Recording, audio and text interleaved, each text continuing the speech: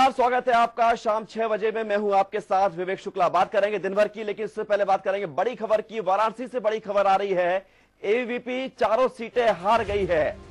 MG Kashi विद्यापीठ विश्वविद्यालय में चारों सीट हारकर एवीपी ने जमकर हंगामा किया है।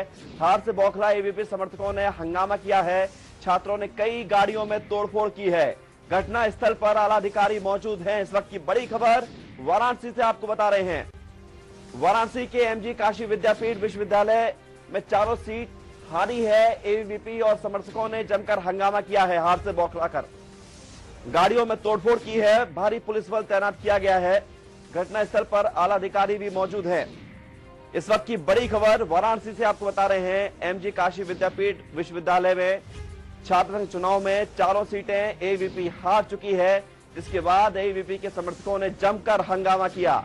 कई गाड़ियों में तोड़फोड़ की। घटना स्थल पर आला अधिकारी मौजूद हैं। चुनाव नतीजे आने के बाद एवीवीपी समर्थकों ने जमकर हंगामा किया। तोड़फोड़ की गाड़ियों में भी तोड़फोड़ की है। हार से बौखलाए समर्थकों ने जमकर हंगामा किया है। वाराणसी से खबर आपको बता रहे हैं। झटका लगा है एवीवीपी को। बीजेपी की छात्र इकाई है एवीवीपी झटका लगा है पीएम नरेंद्र मोदी का संसदीय क्षेत्र वाराणसी, जहाँ एमजी विद्यापीठ कॉलेज में चारों सीटें एबीवीपी ने गवा दी है। जिसके बाद समर्थकों ने जमकर तोड़फोड़ की बौखलाकर गाड़ियों में भी तोड़फोड़ की तस्वीरें आपको दिखा रहे हैं। पत्थरबाजी भी खूब हुई।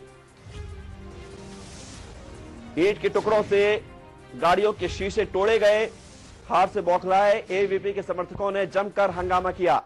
चारों सीटें एवीपी हार चुकी है। ये तस्वीर आपको दिखा रहे हैं। वाराणसी की तस्वीरें हैं, जहाँ रिज़ल्ट आने के बाद बौखलाए एवीपी के समर्थकों ने